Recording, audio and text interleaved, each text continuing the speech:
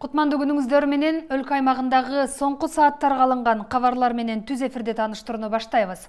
Кыргыз тажик чек арасындагы акыркы кырдаалга байланыштуу чек ара тилкесинде жашаган он бир миң элүү эки жаран эвакуацияланды. Бул тууралуу өзгөчө кырдаалдар министрлигинен билдирет. Маалыматка ылайык алардын он миң төрт жүз ону коопсуз аймактагы үйлөргө көчүрүлсө алты жүз кырк эки адам убактылуу түзүлгөн пункттарга жайгаштырылды.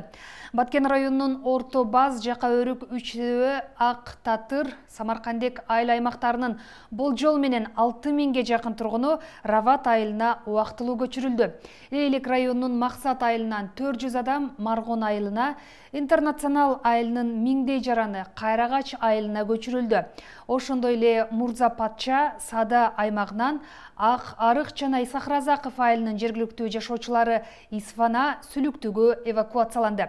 Ага катар эле самаркандек жана ак татыр айылынын миңдей жашоочусу лейлек кара суу ак теректеги үйлөргө жайгаштырылды. Азыркы тапта эвакуация болгон жарандар дарыгерлердин көзөмөлүндө болуп зарыл болгон каражаттар менен камсыздалды учурда исфара шаарынын чоркух айылында тажикстан менен кыргызстандын ортосунда сүйлөшүүлөр жүрүп жатат. Бул туурасында тажикстандын хабар тажик телеграм каналы жазып чыкты. Сүйлөшүүгө улуттук коопсуздук боюнча мамлекеттик комитетинин башчысы камчыбек ташиев жана тажикстандын чек ара кызматынын башчысы раджабали рахмонзода катышууда. Кыргызстандын атайын кызматынын башчысы камчыбек ташиев жаңжал тынчтык жолу менен чечилиши керектигин белгиледи. Тажикстан ар дайым чек ара тилкесинде тынчтык туруктуулук жана коопсуздук болушун каалап келгенин айтты. Дагы бир нече маселелерге токтолуп сүйлөшүүлөр уланып жатат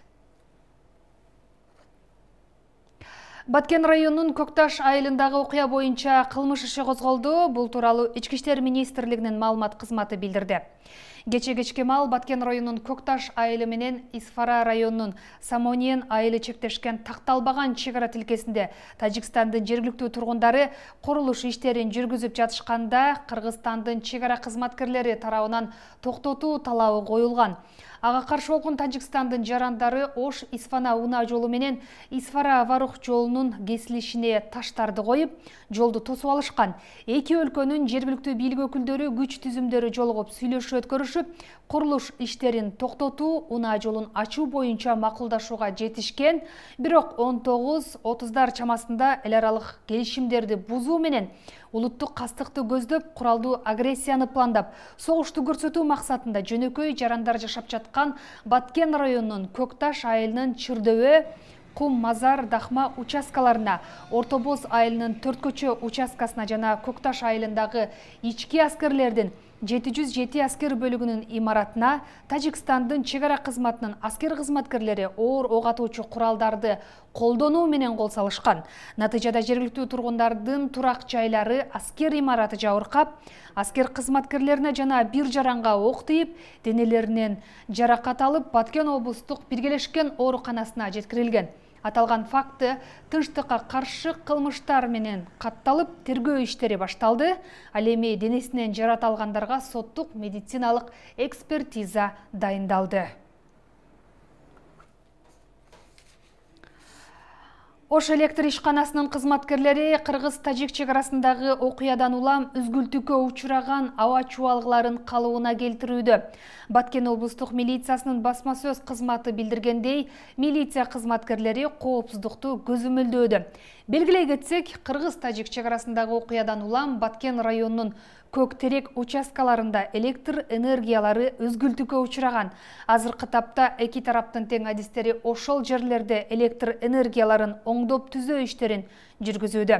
Милиция кызматкерлери эки элдин адистеринин коопсуздугун камсыздап жеринде иш алып барууда буга чейин окуя болгон жерде бир миң төрт жүз эки абонент жети конуш электр жарыгысыз калганы айтылып ок атуунун кесепетинен самаркандек көмөк чордонунун линиясы бузулганы маалым болгон.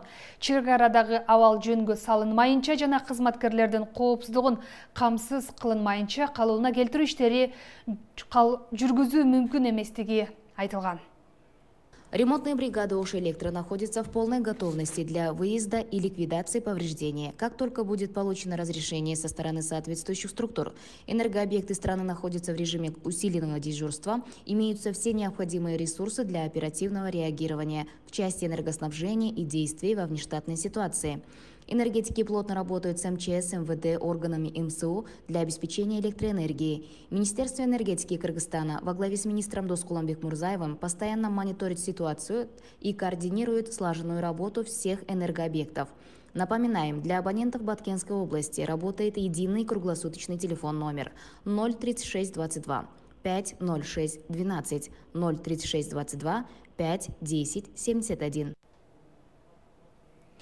Жогорку кеңеш баткенде болуп жаткан окуяларга тынчсыздануу менен тыкыр көз салууда. Төрага талант мамытов кыргыз тажик чек арасындагы кырдаал боюнча чек арада түзүлгөн кырдаалга байланыштуу эл өкүлдөрү жергиликтүү тургундардын коопсуздугун мамлекеттин стабилдүүлүгүн сактоо үчүн бардык аракеттерди көрөт.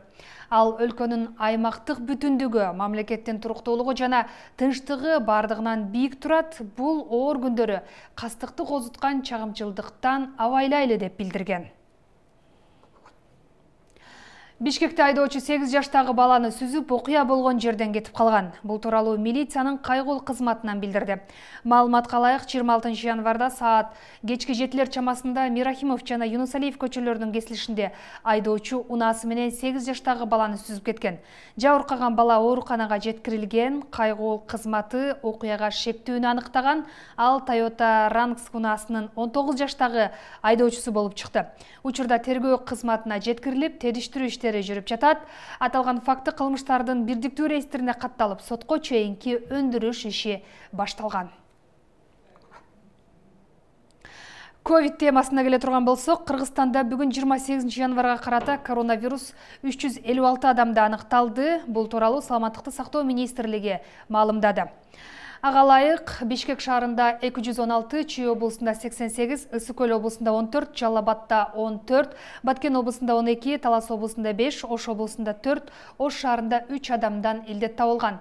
Акыркы суткада алты жүз төрт адам илдеттен сакайып чыкты беш бейтап каза болду кыргызстанда пандемия башталгандан бери жүз токсон жети миң төрт жүз отуз жети адам коронавирус жуктурган алардын ичинен жүз сексен беш миң жети жүз жетимиш бир киши айыгып чыкса эки миң сегиз жүз алтымыш жети адам каза болду. Урматтуу теле көрүүчүлөр сиздер бул сааттарга алынган кабарлар менен тааныштыңыздар. Алдыда күндүзгү күтүлгөн аба ырайы тууралуу маалымат бар. Биз сиздер менен күндүзгү саат он алтыда кезигебиз. Ош тв телеканалынан алыстабай туруңуздар